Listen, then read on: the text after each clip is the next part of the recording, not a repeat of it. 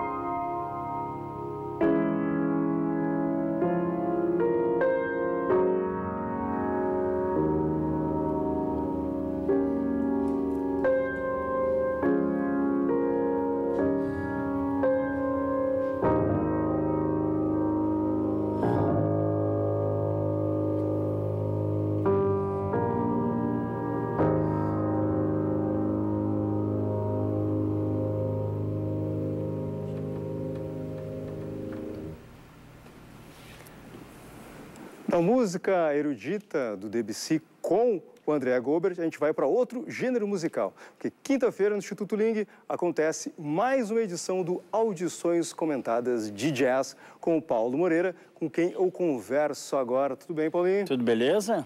Bom, e qual é o próximo compositor, o próximo autor, o próximo instrumentista que vai ser analisado, esmiuçado e demonstrado por ti lá, Paulo? Quinta-feira, agora, a partir das sete e meia da noite, eu vou falar sobre o Wayne Shorter, que é um saxofonista tenor e soprano, que tem uma importância muito grande para o jazz, porque ele é um grande compositor, tocou com o Art Blake Jazz Messengers, integrou o quinteto do Miles Davis da década de, de 60. Mas o, Milton, o Wayne Shorter tem uma importância tremenda para a música brasileira. O Wayne Shorter era casado, era casado com uma portuguesa que era apaixonada por música brasileira e essa mulher mostrou para o Wayne Shorter o trabalho do Milton Nascimento. O Shorter se apaixonou por esse trabalho e acabou chamando o Milton Nascimento em 1974 para gravar um disco com ele em Los Angeles. E esse disco, Native Dancer, foi uma espécie assim de porta de entrada para o trabalho do Milton Nascimento nos Estados Unidos e depois no mundo inteiro. O Milton já tinha gravado um disco nos Estados Unidos em 69, mas esse disco de 74 fez com que grande público se desse conta da música do Milton Nascimento. Pois é, aí estamos falando um pouco da importância do N-Shot. E como é que tu vai trabalhar lá? Tu mostra vários elementos para contar essa história, né, para compor essa narrativa, e depois nós temos uma canja. Vamos falar primeiro de como é a parte da expositiva lá. A parte expositiva é a seguinte, eu pego as gravações do N. Shorter, inclusive eu consegui o primeiro disco lançado por ele, em 1959, e eu vou contando a história dele a partir das gravações. Ele gravou um disco solo, ele integrou tal banda, ele fez isso, ele fez aquilo. No final, aí a gente chama o que se convencionou denominar de a canja, a canja das audições comentadas, que é o seguinte, um artista gaúcho vai ao palco do Instituto Ling para interpretar as composições ou as músicas que foram interpretadas pelo artista sobre o qual eu falei. Então, nessa quinta-feira nós vamos ter Luizinho Santos no saxofone, Beth Krieger no piano, o André Mendonça no baixo e o Bruno Braga na bateria, esses dois integrantes da Marmota Jazz. E no final da minha palestra, eles entram e tocam músicas compostas pelo Wayne Shorter. E, nesse caso, compostas porque o Wayne Shorter é um dos grandes compositores do jazz. Bom, o projeto continua ainda o resto do ano, né? Daqui a pouco eu relembro o serviço desta quinta-feira. E tu já tem algumas edições, ou muitas edições já marcadas. Dá um briefzinho para nós, o que, que vem por aí ainda, Paulo? Tá, aí julho a gente faz uma pausa, em agosto eu retomo com Duke Ellington, e quem vai tocar vai ser o Vasco Piva, que é nosso amigo e esposo da nossa querida colega Patrícia Salvatore. Vamos ter no dia final de agosto, a audição do Thelonious Monk, que eu deveria ter feito nesse primeiro semestre, mas não pude por questões de doença. Então, final de agosto, Thelonious Monk com o pianista Conrado Pecoal, o Tonda. Depois vamos ter Miles Davis com o grupo Versão Brasileira e eu vou cometer uma heresia. Eu vou fazer com que esse grupo toque músicas dos Miles Davis e eles não têm trompetista. Então vai ser uma, uma um desafio, um, um, uma, um viés diferente, né? Vamos ter também Charles Mingus com o Everson Vargas e o seu grupo. Vamos ter Dave Brubeck em novembro com o Luiz Henrique New. E no final do ano, em dezembro, nós vamos ter Ella Fitzgerald com a Camila Lopes, que todo mundo conhece como a menina que faz o show sobre Elis Regina, e a Camila resolveu abraçar, fazer um show de músicas interpretadas pela Ella Fitzgerald. Esse vai ser o cardápio deste ano. Ano que vem já estou preparando coisas bem legais. Mas calma, ano que vem tá... E ano que vem eu volto aqui para falar, claro. Não, vai voltar em outros momentos, quem uhum. sabe também. Então, audições comentadas de jazz essa semana com Annie Schotter, Luizinho Santos e Beth Krieger interpretando, Luizinho e Beth Krieger, quarteto, né? Ainda tem os outros dois meninos acompanhando. Na quinta-feira, às 19h30, no Instituto Ling. Essa programação que segue durante o ano, tu pode ir periodicamente dando uma olhada ali no Instituto Ling, ali no site deles, e pegando essas informações também, procurando pelo evento no Facebook, audições comentadas de jazz. O link, para quem não sabe, fica ali na João Caetano 440. Paulinho Moreira, obrigado pela tua presença. Valeu, eu que agradeço o espaço. E até a próxima. Bom, agora a gente faz um pequeno intervalo, é bem rapidinho, e nós voltamos em seguida para falar sobre a exposição fotográfica Errâncias e para conversar com o pianista André Goldberg. É um...